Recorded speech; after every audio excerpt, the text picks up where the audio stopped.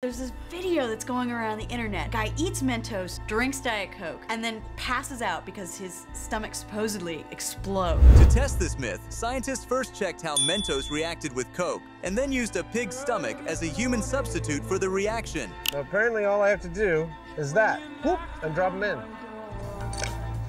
look at that!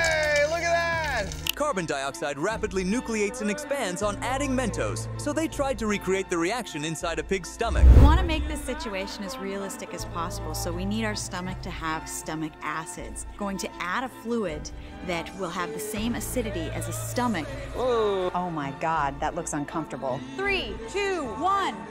I thought there was supposed to be a reaction. What's going on here? Pouring the Coke released too much carbonation, so they connected the pig's stomach directly to the bottle. One, release. Still no explosion. No. I guarantee he really threw up.